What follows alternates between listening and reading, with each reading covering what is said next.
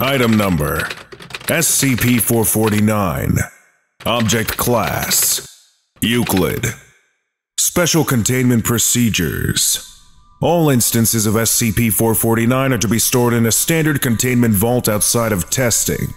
To minimize additional production, between 3 and 5 kilograms of SCP-449-A will be available for testing in a low-risk chemical storage container. Excess SCP-449-A generated in testing of SCP-449 must be incinerated. A network of D-class spaced no closer than 1500 kilometers apart are to consume one grain of SCP-449-A per day to monitor for use of SCP-449. Should use by parties other than the Foundation be detected, agents are to follow the Dragnet procedure outlined in Document 449-5 to locate and confiscate the SCP-449 instance. Description Each instance of SCP-449 is a twisting aluminum cone, loosely resembling a cornucopia. Each is 40 centimeters long with a mouth approximately 15 centimeters in diameter, weighing slightly more than a kilogram. On the side of each is stamped the word Joy. For unknown reasons, all instances tarnish very easily. When squeezed by a human, SCP-449 instances produce SCP-449-A.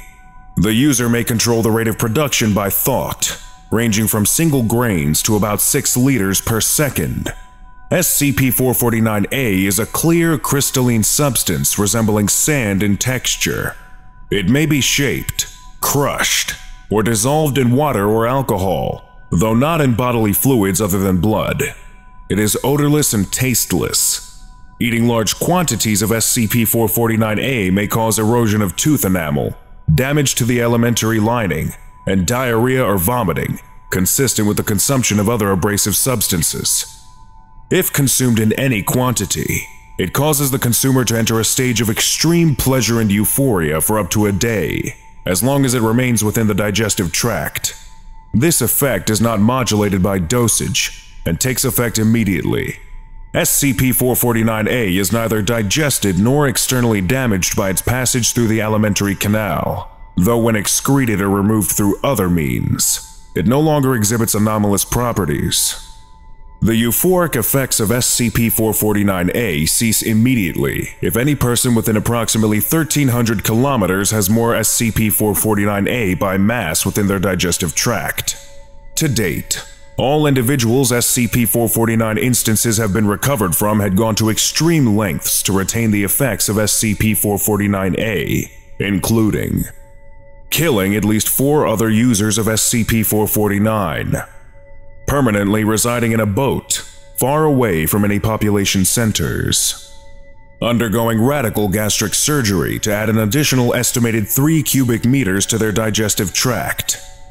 In almost all cases, the SCP-449 users had abandoned activities other than producing and consuming SCP-449-A. To date, 83 instances have been recovered, out of an estimated 100. Addendum 449-2 Several SCP-449 instances were accompanied by the following note. Joy from the factory. Any will let you have joy interferes within 761 miles. Very unfortunate, regrettable, apologies, etc. Happy way for you to be one to feel joy. Joy, joy, joy. Better than joy. As much joy as you like. How much joy to have joy, how much to have sorrow without joy. You cooperate, you defect, you organize, you destroy you use. Factory only provides. Lesson complete.